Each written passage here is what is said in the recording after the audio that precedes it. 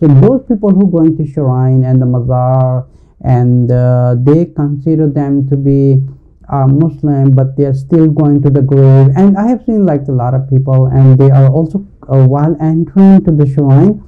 they, they kiss the door and uh, they put their forehead on the ground as expecting that he was a blessed person and by doing that they will be able to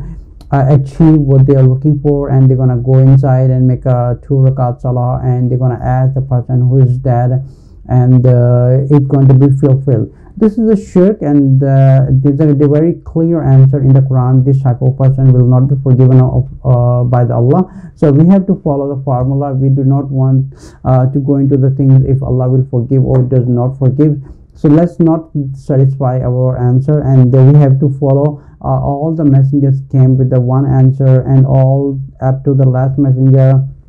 in the quran give the same answer that uh, doing a shirk is an unforgivable sin. So those people going to the mazar and the shrine, uh, they are Muslim but mixed with uh, other ingredient in there and uh, they are not a pure Muslim. They are like a mix of shirk